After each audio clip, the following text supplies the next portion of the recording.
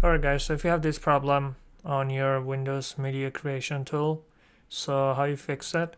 So I find a solution on the internet. Uh, all you have to do is just go to this page and download your uh, version. For example, my computer is 64-bit English, so make sure you just download this one. I already downloaded, it's uh, around 5.5 gigabytes, I'm just gonna cancel it because I already downloaded. And there's 32-bit version for um, 3.9 gigabytes. So all you all you have to do is just download this and install and set up and your problem will be fixed. Uh, and again if you still having problem do comment below that uh, this method doesn't work. So I'll, I'll let you know that I'm not alone.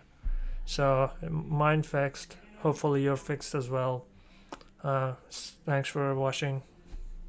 Subscribe. Take care